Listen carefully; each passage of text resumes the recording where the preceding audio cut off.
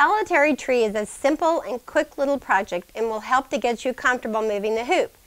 Notice that I have already fused the moon to the background fabric and I use the moon to position the drawn stabilizer on top. Also notice the underlay on the trunk, which is where we're going to start. Okay, the first thing we're going to work on today is we're going to underlay the trunk. Now I've already gone ahead and I've pulled up my thread from the bottom and I've tacked a few stitches. Now, you'll also notice to, in most of the projects that I'm going to be doing today that I'm going to be doing them on a neutral background.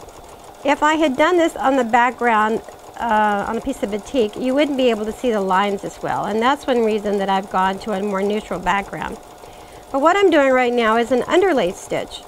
An underlay stitch is nothing more than another means of stabilization. It's, helped, it's going to help keep the distortion from appearing around the edge of the design. Now I use a straight stitch and I'm moving the hoop very, very slowly. And I'm just going to go back and I'm just bumping each one of these lines.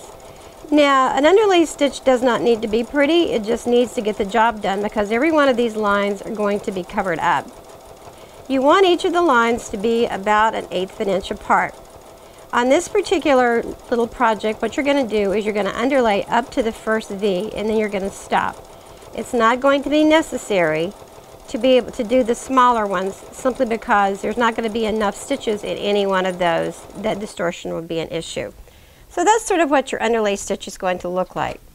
Now I'm going to stitch back, I'm going to go over to a zigzag stitch now remember from one of our earlier videos, it said when you were using the zigzag stitch, the line that you're thread painting, which in this instance right here is going to be this line that's inside my presser foot, that line must be parallel to me in order for me to fill anything in using a zigzag stitch.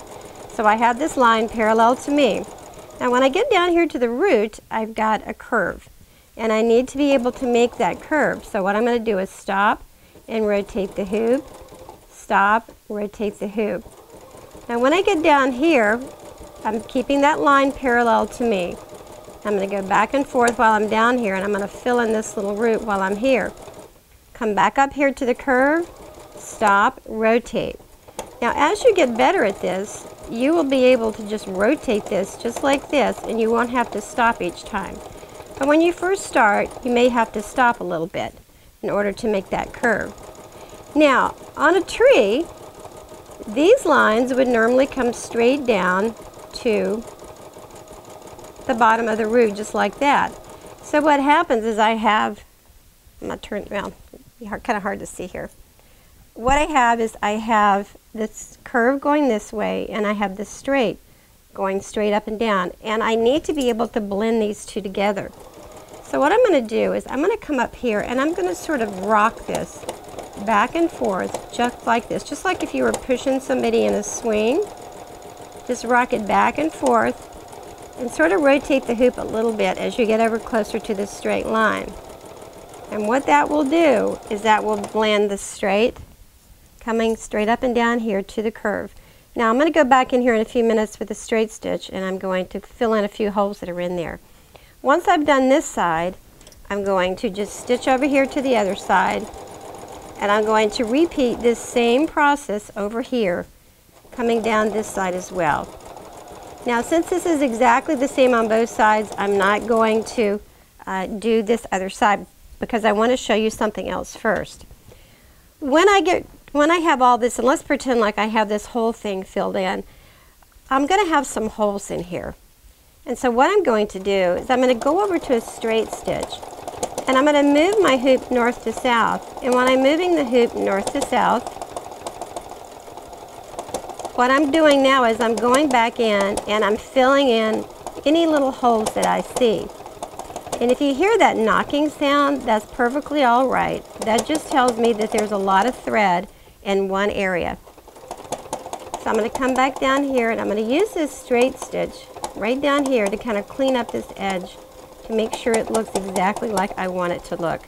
So what you're going to do is you'll finish the entire trunk, both sides, and then while you have your straight stitch in here, you're going to come up here and you want to do all these tiny little limbs up here.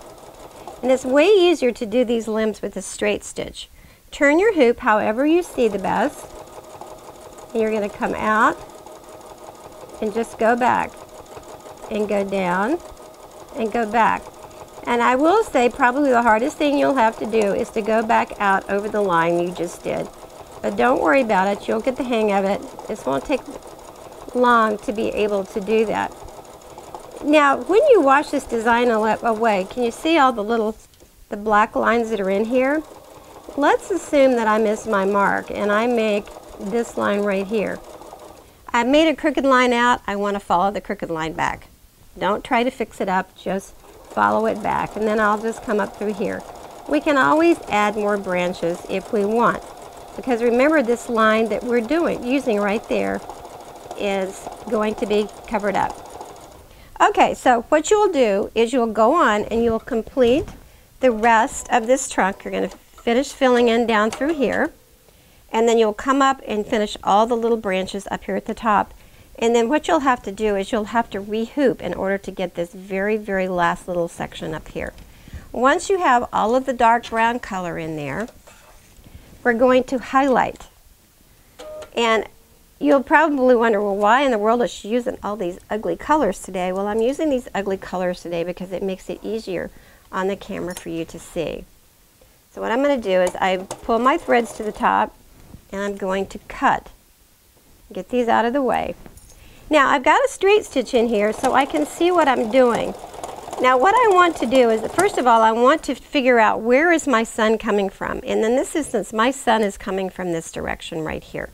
So the lightest part of the tree is going to be on this side. Now, your stitches are going to look a whole lot better than mine because you're going to be in the same color family or at least something similar. Uh, mine are so far apart in value that they're going to stand out like a sore thumb. But what you want to do is just highlight this however you want, as much as you want, and the degree of highlight that you use in there is going to depend on the difference in value between the two threads that, that you use. So let's come down through here and let's put a little bit down in through here. Here again, don't worry about that knocking that you hear. That's going to happen all the time. So I'm going to look at this and I'm going to go, okay, that looks pretty good. That's about all that I need to do. Now, we have this one complete and we're going to go on to our next little video and that's going to be first flowers.